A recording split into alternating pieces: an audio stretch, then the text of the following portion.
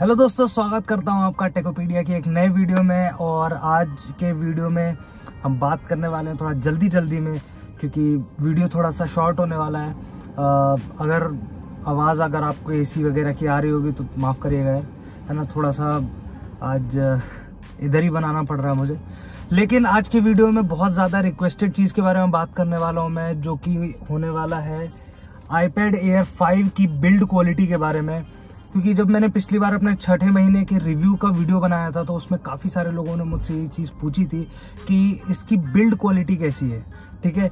तो इस वीडियो में उस कॉन्सेप्ट को हम पूरी तरीके से क्लियर करेंगे, जो कि मतलब बहुत ज़्यादा चीज़ें फैलाई गई हैं कि बिल्ड क्वालिटी ख़राब है। अब इस चीज़ में कितनी सच्चाई है, कितना झूठ है, वो सारी चीज़ें आपको इस वीडियो में समझ में आने वाली हैं। वीडियो को आखिरी तक देखते रहिएगा, बहुत इंटरेस्टिंग वीडियो होने वाला है। चैनल पे पहली बार आए तो सब्सक्राइब करके बेल आइकन दबा दीजिएगा। ऐसे लेटेस्ट टेक्नोलॉजिकल वीडियोस के लिए। वीडियो स्टार्ट करते हैं। देखो दोस्तों, सबसे पहले तो आप इसका पीछे से पैनल चेक कर लो, ठीक है? ये वो बेबी पिंक कलर टाइप का कुछ है, ठीक है? वो लड़कियों वाला जो कलर होता है ना अपना तो उस कलर टाइप का कुछ है। तो अब जो जो चीज़ें मतलब बोली जा रही हैं मार्केट में, वो ये हैं कि जैसे अगर मैं यहाँ पे पीछे ना ऐसे प्रेस करता हूँ तो आगे मतलब एक तो एक तो क्रीकी क्रीकी साउंड करता है और दूसरी चीज़ वो ये बोल रहे हैं कि क्रीकी साउंड करने के साथ ही साथ इसमें आगे ना वो आपका डिस्प्ले पे वो निशान सा आने लगता है, ठीक है? तो मैं आपको इसमें करके दिखाता हूँ। एक बार आप देखिएगा और उसके बाद पहले आप साउंड सुन लीजिए।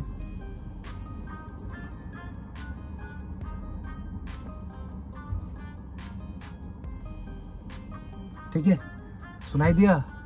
आप सोच रहे होंगे कि हो सकता माइक में आवाज़ नहीं आएगी साउंड है ही नहीं तो आवाज़ कैसे आएगी? दूसरी चीज़, कि अगर मैं पीछे दबाता हूँ तो आगे स्क्रीन पे कुछ इफ़ेक्ट पड़ता है या नहीं पड़ता है? देखो, मैं दबा रहा हूँ, है ना? ऐसे दबा रहा हूँ। अब ऐसा भी नहीं कि इसमें हम ईटा लेके चढ़ी जाएँगे तो फिर समझ में आएगा। लेकिन एक नॉर्मल चीज़ जो समझ में आती है, वो ये है कि अगर हम कुछ भी, ऐसा मैं नहीं कह रहा हूँ कि ऐसा कॉन्सेप्ट ही नहीं होता है।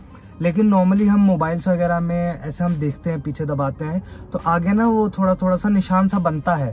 लेकिन इसमें नहीं बनता है। Until and until and unless आप इसे बहुत ज़्यादा तेज से प्रेशर मत करो। बहुत ज़्यादा तेज प्रेशर करोगे तो इसकी स्क्रीन भी ब्रेक हो सकती है। पीछे से मैं पूरा एकदम इसे चापे जाऊँगा तो इसके टूट भी सकता है। ठीक है? तो आपको इस चीज़ को समझना होगा। Up to what extent you can press this आपको इस चीज़ को समझना पड़ेगा। बहुत ज़्यादा तेज़ आप प्रेशर करोगे तो भी दिक्कत है। बहुत आराम से आप प्रेशर करोगे तो बहुत सही से काम करेगा, ठीक है? ये जो इलेक्ट्रॉनिक चीज़ें हैं, बहुत डेलिकेट होती हैं। हमको हमको ये चीज़ समझनी पड़ेगी अभी से भी। कि इसको अगर हम ये सोचेंगे कि इस पर एकदम हम चढ़ जाएँ ईटा लेके बैठ जाएँ मैं बैठ जाऊँ है ना कोई बच्चा है वो उस पर बैठ जाए तो इस पर कुछ होना ही नहीं चाहिए। ऐसा पॉसिबल नहीं है।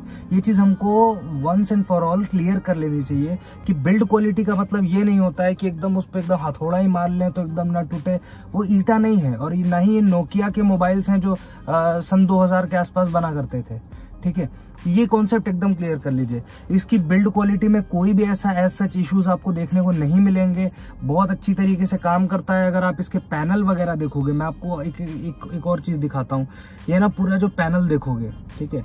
ये ये पूरा पैनल ये पूरा पैनल भी मेरा मतलब मैं आपको बताऊँगा तो बहुत ज़्यादा ऊपर से तो नहीं लेकिन हल्का फुल्का गिरा हुआ है गिर गया है ठीक है? लेकिन उसके बाद भी इस पर कोई ऐसा सच असर नहीं पड़ता है।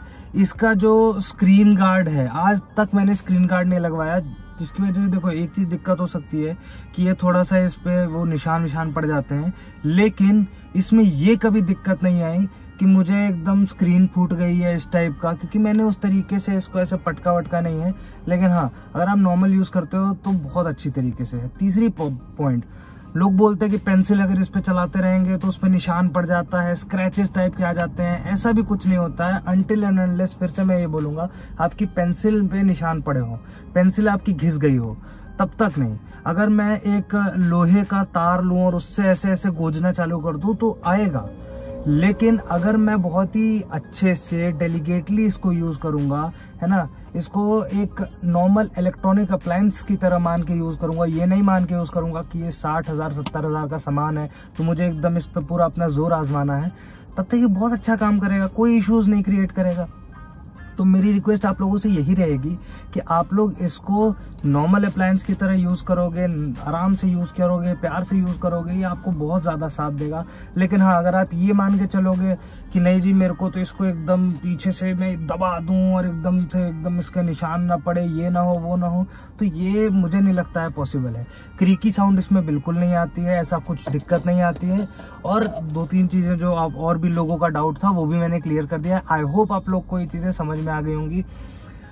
कोई भी इस टाइप के आप लोग के डाउट्स रहते हैं तो मैं आप लोग के डाउट्स क्लियर करने की पूरी कोशिश करता हूँ। तो वीडियो पसंद आया तो नीचे कमेंट सेक्शन में मुझे बताइएगा कि अगले वीडियोस आप कौन से टॉपिक पे देखना चाहते हो। मैं बिल्कुल लेके आने की कोशिश करूँगा। मिलते हैं अगले वीडियो में, तब तक नमस्कार। जय हिंद।